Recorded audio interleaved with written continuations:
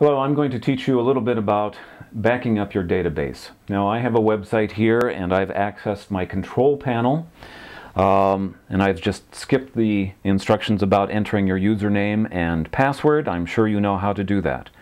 But you want to, on this server, I have PHP MyAdmin, which is a database management tool.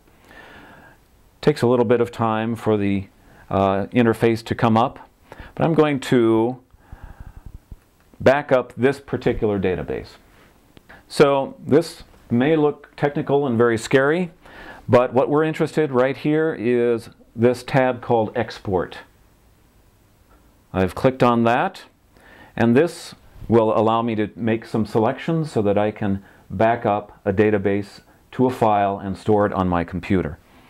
I want to store it as an SQL file an SQL file is good because if you need to restore the database, the SQL file is something that can be read into the database very easily.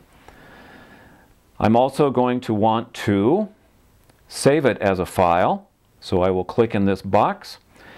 And then all of these um, are selected by default.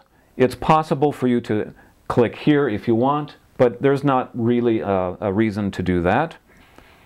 So if we have selected SQL and save as file, we might also want to compress it as a zipped file. And then I will go down here, press go, and the computer will think a little bit. And in a few seconds or minutes, depending on the size of the database, we'll get a window that says the file is ready to be saved.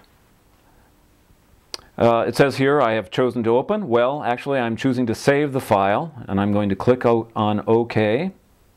Notice that the file ends with zip. That's because it's a zipped file. And it has been saved in the downloads directory of my Mac. That's it for backing up your database.